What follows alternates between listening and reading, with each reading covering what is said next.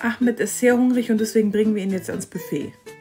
Wenn ihr die Schnecke so seht am Boden an eurer Tasche, dann müsst ihr sie immer von unten packen. Also ihr geht richtig unter den Fuß hier drunter und packt die nicht am Haus ziehen. So, dann könnt ihr sie so hochheben. Und dann wollte ich ihn das eigentlich hier reintun, aber hier sind wieder die Türsteher, da kann ich also nicht aufmachen, weil die die komplette Tür zugeschleimt haben. Das ist Günther und Chantal. Ja, Ahmed ist ja da, aber es wäre schön, wenn ihr Platz machen würdet, dass er reinkommt. Jetzt muss er auf die andere Seite. Günther und Chantal sitzen auf dem Essen. Also da müssen wir jetzt ihn irgendwie hinbringen. Das ist nicht so einfach. Oh mein Gott. Okay, dann vorsichtig hinlegen.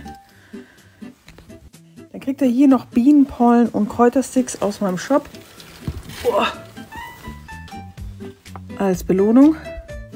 Und dann natürlich wieder die Schnecke feucht halten. Aber in der Luft muss sie feucht gehalten werden. In der Luft.